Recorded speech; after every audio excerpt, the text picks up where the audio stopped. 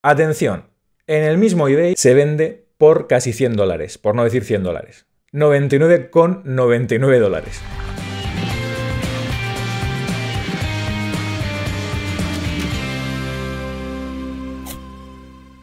¿Qué pasa gente? Muy buenas. Hoy os voy a contar una historia increíble.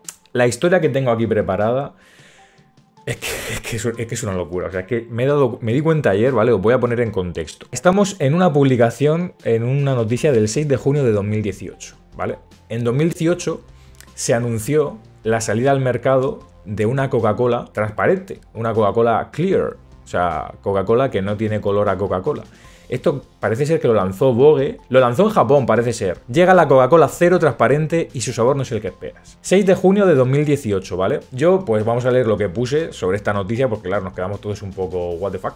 Porque esto fue compartido, imagino que también en Twitter y en otros sitios. Aterriza en Japón la Coca-Cola Clear, la nueva apuesta de la multinacional azucarada. Aunque nos dicen que esta versión no tiene calorías ni azúcares añadidos pero ya os digo yo que tendrá edulcorantes para parar un tren. La diferencia significativa que parece tener con respecto a otras versiones es que no lleva el colorante caramelo, aditivo característico y seña de identidad de esta bebida que todos conocen. La única diferencia de esta Coca-Cola eh, era el colorante que tiene, no tiene ninguna otra diferencia de, eh, sabor y todo eso. Pero bueno, no adelantamos acontecimientos. Aquí, según decía Sefifutu de 2018, y aquí continúa diciendo, en fin, una tontería más del marketing para intentar seducirnos y que soltemos la panojita. Salió esta Coca-Cola, eh, se compartió mucho en Twitter, se mini viralizó un poquito, tampoco fue una, una locura, ¿vale? Pero sí que se hizo un poquito conocida la cosa. Y claro, yo en 2018 dije, ostras, voy a buscar, ¿se podrá comprar de alguna forma esta bebida? Y para allá que me fui, que es lo que os he enseñado antes a eBay, no aparece ningún dato confidencial mío, es una dirección donde vivía yo antes, ¿vale? Concretamente, sí que estaba, ¿vale? Podemos abrir el enlace, pero no, no existe ya, ¿vale? La cosa que, aunque aquí no se vea la foto, yo le compré una Coca-Cola Clear Japón Limited Coke 500 ml bottle multiple discount available por 9,99 dólares, ¿vale? Standard number, Handemore, and International Shipping. 9,99 dólares, que son pues unos 8,23 euros. Bueno, dices, para una Coca-Cola la verdad que es un precio caro, es como...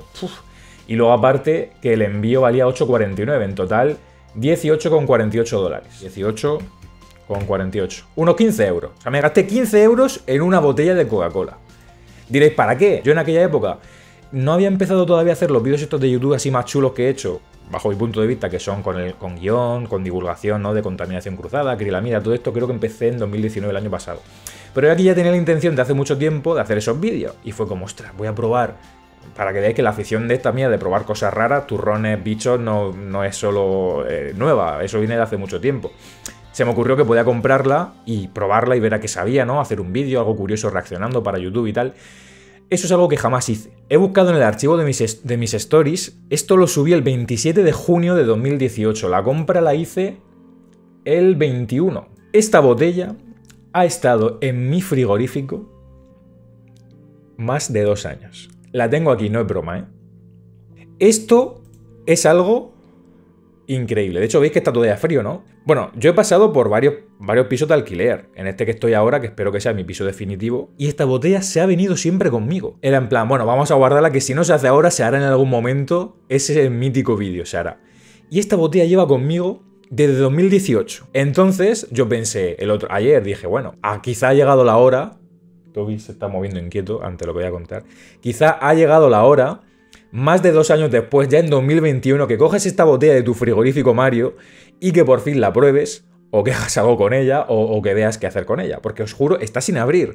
Esta botella que me costó 15, dólares, 15 eh, euros, em, está todavía conmigo. No sé por qué se me ocurrió buscar en eBay a ver si se seguía vendiendo. Vamos a investigar código de barras, tal. No se enfoca, pero aquí no hay narices a entender nada, salvo que alguno sepa japonés mm, y le pase una foto y me lo traduzca.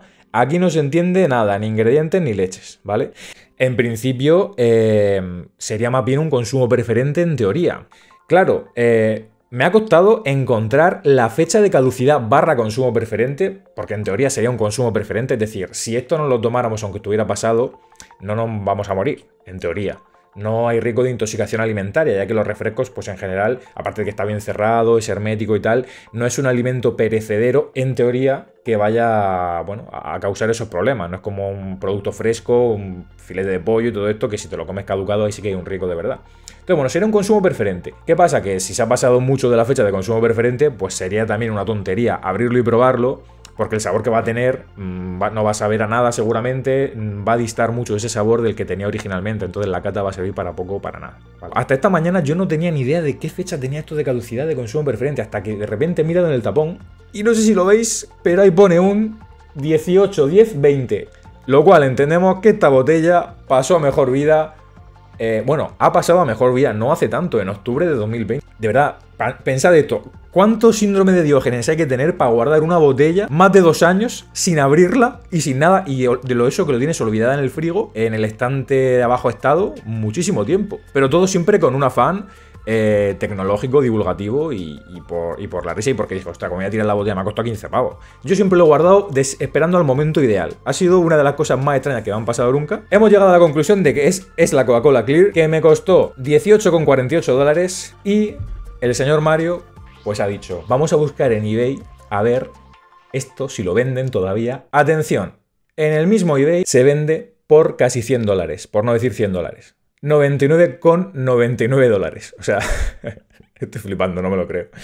Tengo una botella que me costó 18 dólares, hemos dicho, ¿no? Bueno, sin contar los gastos de envío.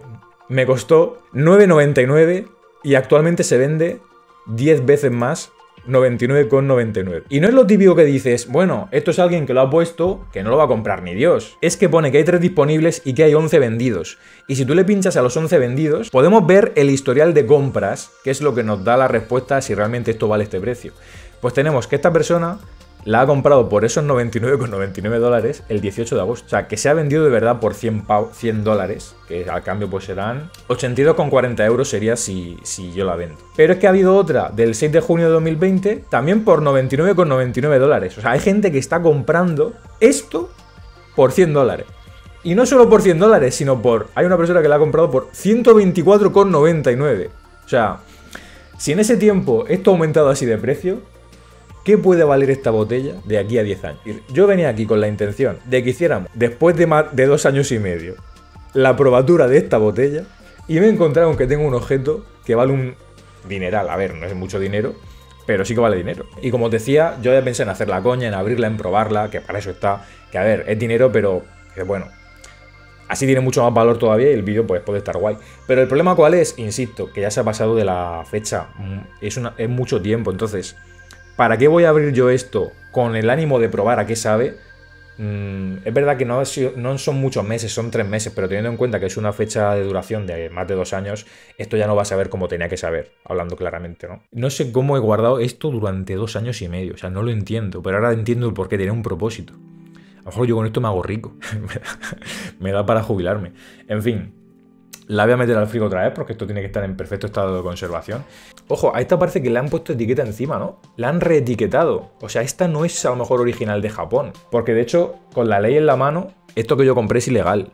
En efecto, a ver, depende, es que ya es complicado. Si se interpreta como un objeto de colección, quizá no, pero yo cuando compré esto, cualquier alimento que tú compres por internet debe cumplir con las mismas eh, legislaciones o con las normativas de etiquetado. Vamos, que esto debería entenderse lo que he comprado aquí. Si yo compro esto para bebérmelo, no puede ser que yo no entienda lo que pone. Pero claro, como es entre particulares, es una cosa así, pues eso, eh, está en un vacío legal, entiendo. Aquí puede ser que este hombre lo haya comprado en otro sitio o a otra persona y ya por eso ha etiquetado.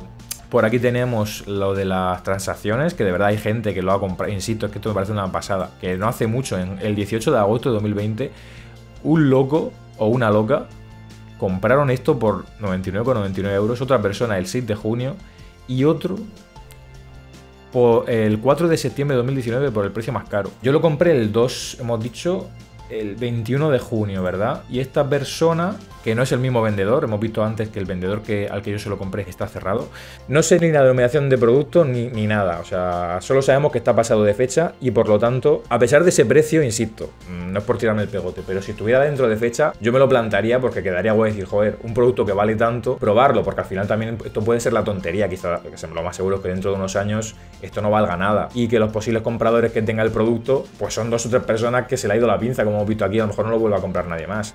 Agua. Parece todo lo de las supernenas. Estos ingredientes fueron los necesarios para crear una Coca-Cola perfecta. Agua, zumo de limón, ácido carbónico, como todos los refrescos, carbonato. Aromas, no se la juegan, no nos van a decir que aroma. Acidulante, edulcorante, sucralosa, cesulfame K y cafeína. En resumen, el resto de ingredientes es lo mismo que lleva una Coca-Cola, un refresco de este tipo. Incluso el tema de la sucralosa y la cesulfame K es el típico edulcorante que lleva la bebida cero light, pero básicamente es una Coca-Cola normal, solo que al no llevar el colorante pues se queda con esta apariencia que la verdad que parece poca cosa, no vamos a engañar. Es la misma, con el, con el colorante fuera y todo igual. Que bueno, no tiene mucho misterio, es un refresco... Mmm, Obviamente esto por hacer la coña y tal, no hace falta decir que es un producto que a nivel saludable pues no ofrece ninguna ventaja, ningún beneficio. Puede tener cierta utilidad para reducir el consumo de azúcar poco a poco, pero digamos que no, no deja de ser un producto que no es interesante desde el punto de vista nutricional, que no es recomendable, vaya, que aparte no solo que no lleve calorías, es que no aporta nada de interés. Es un objeto de coleccionista prácticamente. Mm, por mi parte creo que nos vamos a quedar sin saber, nos vamos a quedar con la ganas de ver a qué sabe, porque ya os digo que esto va a ser un objeto de colección, que veremos a si de aquí no me llevo yo la jubilación. Muchas gracias chicos y chicas y hasta la semana que viene. Un besito.